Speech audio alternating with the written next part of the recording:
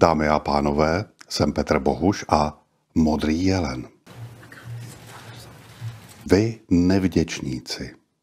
My se připravujeme na tiskovku vlády za 5 minut 12. Snažíme se využít nejmodernější techniku mávání rukama, hypnózu, sugesci, manipulaci, propagandu, PR a čtecí zařízení. Utrácíme za to vaše peníze za 5 minut 12 a vy si z nás budete dělat srandu a budete si stěžovat? Mainstreamoví novináři, že chceme zdražit noviny? My ale nepotřebujeme já nevím kolik mainstreamových novin. Nám stačí jedny vládní noviny. Na co bychom měli více novin? Vždyť jste doteď psali všichni ovšem úplně stejně. Tak na co si stěžujete? Musíme šetřit. Dámy a pánové, je přesně za 5 minut 12 a to je nejvyšší čas k tomu, aby vláda České republiky představila dva balíčky opatření, které jsou pro budoucnost Česka naprosto zásadní. Trošku jste nám zkazili radost, že do nás šijete naši mainstreamoví novináři. S Markétou Pekarovou jsme se přitom tak těšili. Protože si přestáváme rozumět, je potřeba, abychom vám vysvětlili, jak jsme se na přípravě té naší slavné tiskovky Česko ve formě s nervem nadřeli. Co nás stálo za úsilí promyslet úvodní projev Petra Fialy, aby vypadal důstojně. Dobrý den, dámy a pánové, vítám vás na této netradiční akci, kterou jsme svolali v symbolický čas za 5 minut 12. Pozvali jsme Danuši Nerudovou, českou ekonomku, která věří ve stát, kde má naději na slušný život každý. Přiznáváme, trošku jsme chtěli naštvat paní ekonomku Švihlíkovou, aby si o sobě tolik nemyslela když se na nás v poslední době vytahuje, jakože je chytřejší než náš rozvědčík, politolog a traktorista. Pozvali jsme i paní Horskou z Raiffeisenbanky. To je ta paní v modrých šatech. Musíme ukázat, že i privátní zahraniční banky mají starost o českou ekonomiku a životy českých občanů. A také jsme posadili za stůl dva mladíky, abychom předvedli, že máme pochopení i pro mládí, a jeho hravost. Tak to jsou naši experti. To jsou nervy. Pro Petra Fialu jsme si připravili čtecí zařízení, takové ty průhledné cedulky vpravo a vlevo, aby nebylo vidět, že pan premiér všechno čte, co jsme mu napsali a učili jsme se s ním rozhazovat rukama dopředu, do boku, dívat se hlavou plynule vlevo a vpravo. Zesynchronizovat pohyb rukou a těla a ještě u toho číst a vypadat, jakože všemu rozumím, to je dřina. Ale věříme, že Petr Fiala zaujal, alespoň své kolegy ve vládě a jejich rodinné příslušníky. A pana Novotného. Takto dojem je samozřejmě důležitější než obsah. Důležité je, aby z vás lidé měli dobrý pocit, abyste působili uhlazeně, mluvili rozvážně, tak nějak sympaticky. Pak můžete lidem vykládat třeba i úplné kraviny. To celé jsme, pojm, to celé jsme pojmenovali Česko ve formě. Důležité je, že se nám podařilo zamaskovat, že máme téměř polovinu volebního období za sebou a teprve teď jsme nabalili ty balíčky. Ještě, že nám někdo poradil, abychom tvrdili, že naši experti celou dobu pracovali. To by lidem mohlo připadat jako zodpovědné, že jsme pracovali na opatřeních takovou dobu.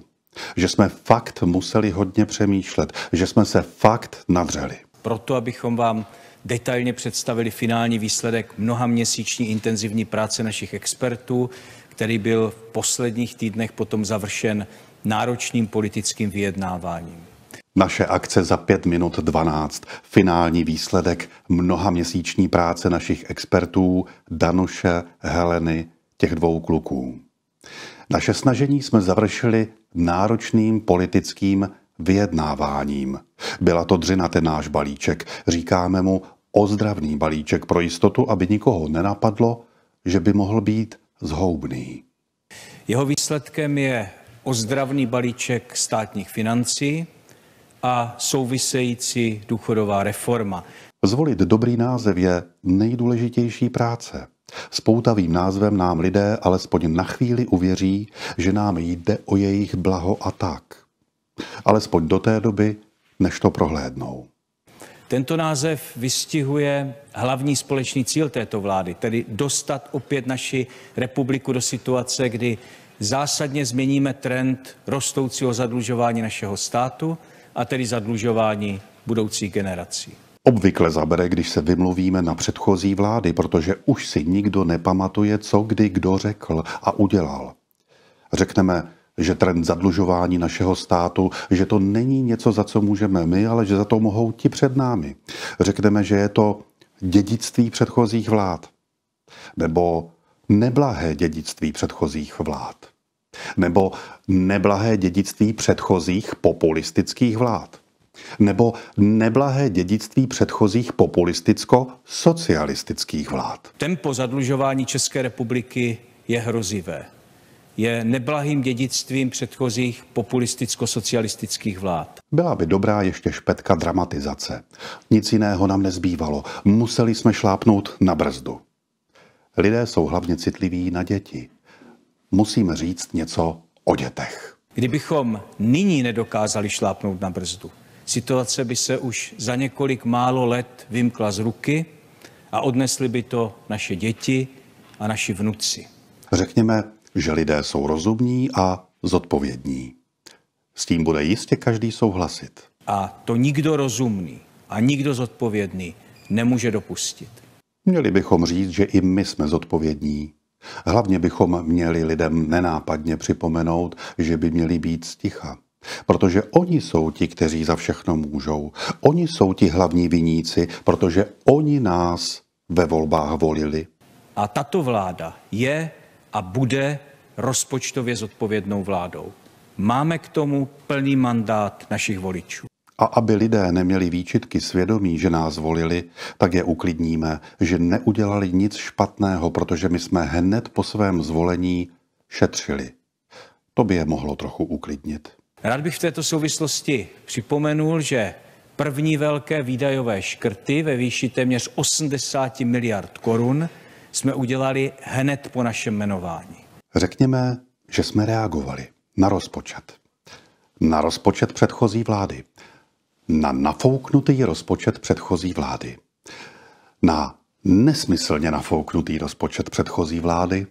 Reagovali jsme tak na nesmyslně nafouknutý rozpočet, který nám zanechala předchozí vláda. Na závěr úvodu pana premiéra by možná bylo dobré zdůraznit, že všem našim nápadům, které máme v balíčku, že jim sami věříme. Nikdo nám asi nebude věřit, ale bude to vypadat dobře. Ale to, co vám dnes předkládáme, má naši naprostou jednoznačnou podporu. Také by mohlo zabrat, když řekneme, že se nic jiného nedalo dělat. Co se dá dělat, když potřebujeme z lidí vytahat poslední peníze, které jim ještě zbyly? Samozřejmě, že jde o kompromis.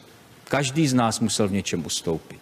A každý z nás to udělal s vědomím, že za tím finálním kompromisním výsledkem stojí a že je ho schopen hájit každý člen naší vlády. Tak nějak tušíme, že co vám dnes řekneme, že se vám to nebude moc líbit, ale riskneme to. My nečekáme dnes slova chvály a nečekáme v první chvíli ani masivní pochopení. Dopadne to jako obvykle dobře. Nebojíme se. Lidé sice remcají, ale nakonec vždycky ohnou hřbet. Mějte se hezky.